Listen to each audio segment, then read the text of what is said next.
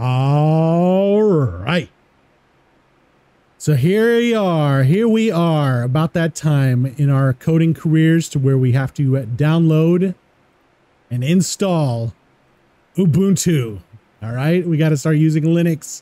And uh, we're going to do this inside a virtual machine from VirtualBox. right? So, first thing, type into the address bar or uh, Google VirtualBox, click it right here, and let's come over here to the download. Right. So, click download, it'll just come onto the computer.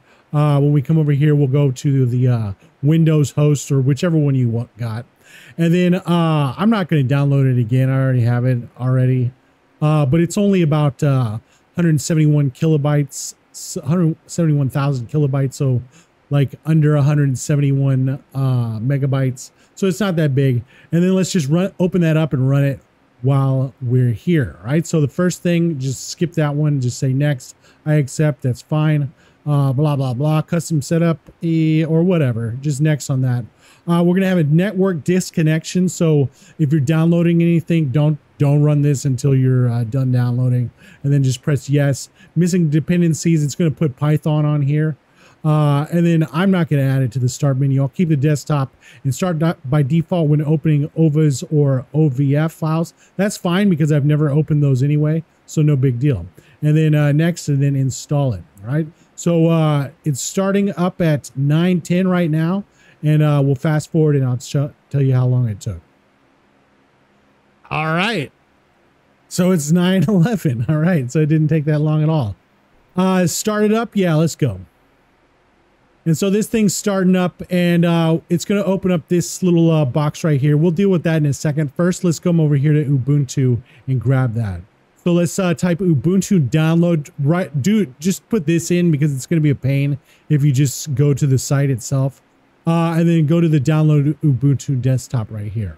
Right. So come over here, and then uh, we're going to download it here. This one is actually, this one's actually 5.7 gigabytes, 5.9 gigabytes. So that number you know, of kilobytes. So it's, I'm not even going to bother uh, acting like I'm doing this one. But yeah, so just click that and then uh, come back to the video once you're done downloading it. All right. And now that you're back, okay, anyway. Uh, so now that we've got that on here, let's go back over to the uh, virtual machine thing, right? So we're going to click new here. And then we're going to start with this VM name. I'm just going to call it Ubuntu uh, VM. Don't put any spaces in it. It'll give us it'll give you trouble later. Uh, and then we're gonna come. This is fine here.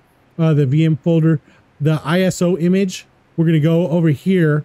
We're going to say other. We're gonna come to the downloads, and then we're gonna have the uh, image disk file for the Ubuntu. This should be the only one in your thing, but I don't I don't know what you got it there.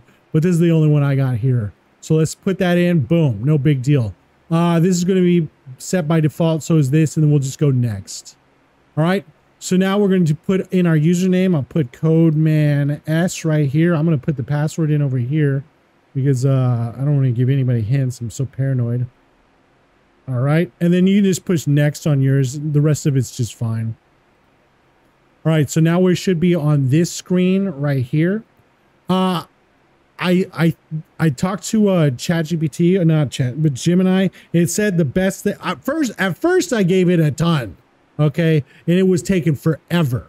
All right, so that's not the play. If you got a ton of memory that you can uh, give up, don't do that. Just give it uh, about eight gigabytes. So eight one nine two megabytes.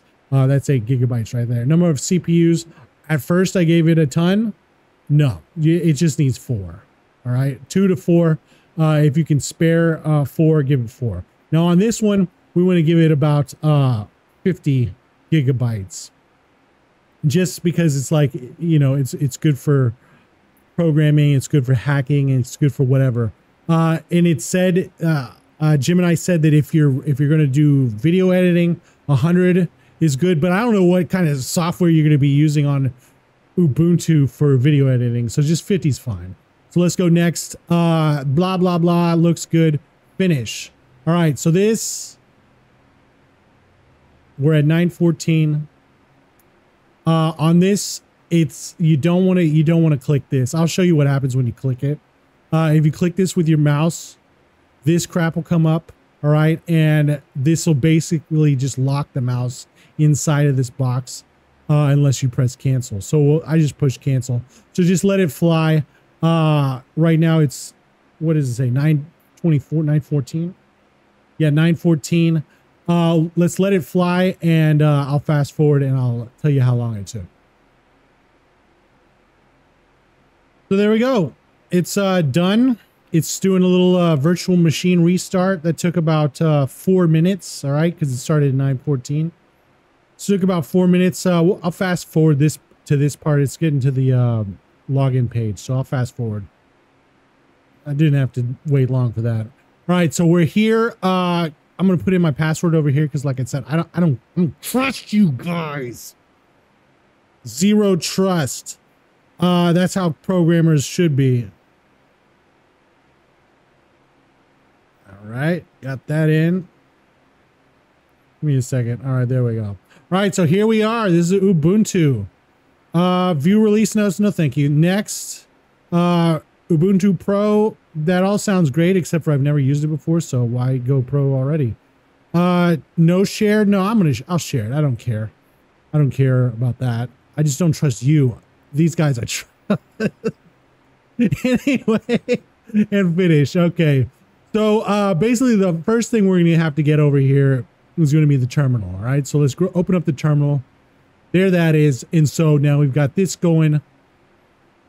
And that's pretty much it. All right. So uh, if you're if you're one of my guys following along with the TryHackMe videos, so here we here we are. This is this is where it is.